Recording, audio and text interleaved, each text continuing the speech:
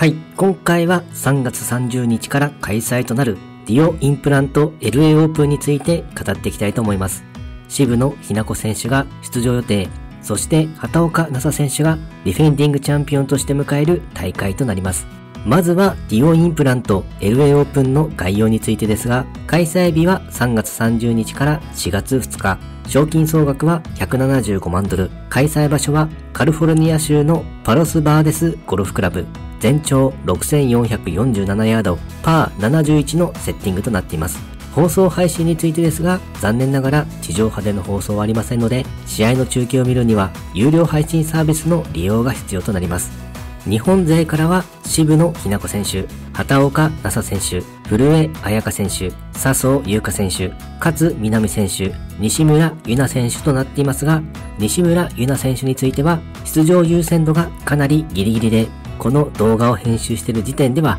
ウェイティングで1番目の状況となっていました。つまり誰か一人でも欠場の選手が出れば西村優奈選手が出場できることになります。大会の開催直前までどうなるかわからない状況となるかもしれませんので無事に出場できることを祈りたいと思います。あと上原綾子選手と野村春京選手もエントリーをしていますがウェイティングの優先順的には出場は厳しい状況かなと思います。続いて個人的に気になる注目選手について語っていきたいと思います。まずは注目となる渋野日向子選手。スタッツについては平均飛距離が116位、フェアウェイキープ率が68位、パーオン率が56位、パーオン時の平均パット数が64位、バーディー数が33位となっています。スタッツの数値も前の週のドライブオン選手権から出場選手の数も一気に増えたため、スタッツの数値の変動も大きいように思います。あとは開幕をしてまだ試合数も少ないという影響もあるでしょうか。前の週のドライブオン選手権では2日目と3日目とビッグスコアを出していた影響か、バーディー数の数値がぐっと良くなっていますね。そして最終成績も7位とトップ10入りできたのも大きな自信になったのではないでしょうか。今大会については昨年はズタボロにされたと本人もコメントをしていますが、2年目となるのでコースの攻略法も見えている部分があるでしょうし、今シーズンはプロキャディーもついているので、コースマネジメントの部分では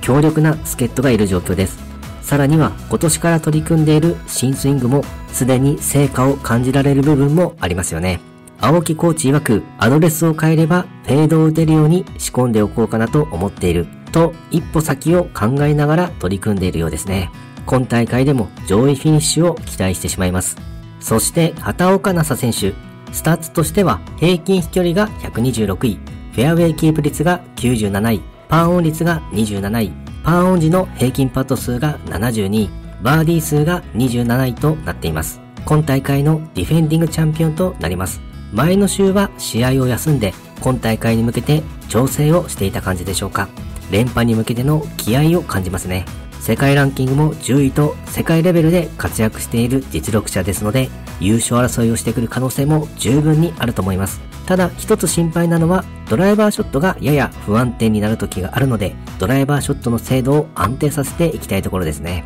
すでにこの課題については取り組んでいると思うので今大会では畑岡奈紗選手の実力を見せつけて連覇を達成してほしいですね。そして古江彩佳選手。スタッツとしては平均飛距離が151位、フェアウェイキープ率が40位、パーオン率が44位、パーオン時の平均パット数が72位、バーディー数が10位となっています。ベージュシツアーは4試合戦っていて、18位、49位、3位、3位と好調をキープしている古江彩佳選手。特に前の週のドライブオン選手権では最終日に65のビッグスコアを出して一時は首位に躍り出るなど小柄なゴルファーでありながら驚異的な強さを見せています。結果的にはわずか1打差というところで優勝争いに加わることができなかったのですが今大会でもまた優勝争いの展開を見せてほしいですね。高いレベルで安定したゴルフに期待です。そして勝みなみ選手、スタッツとしては平均飛距離が52位、フェアウェイキープ率が149位、パーオン率が101位、パーオン時の平均パット数が90位、バーディー数が99位となっています。前の週のドライブオン選手権では、米女子ツアールーキーとして初戦を迎え、初日には68と好発進となったのですが、2日目以降はなかなか思い通りのゴルフができなかったようですね。ショットが不安定となり、またアンラッキーな部分もあったようです。ただ、飛距離については自信を持てるという収穫も得られたようなので、持ち味のパッティングとうまく噛み合わせて、今大会では上位フィニッシュをしていってほしいですね。はい、今回はディオインプラント LA オープンについての概要や事前情報、そして注目選手について語ってみました。今回もゴルフの話がたくさんできて大満足です。それではまた。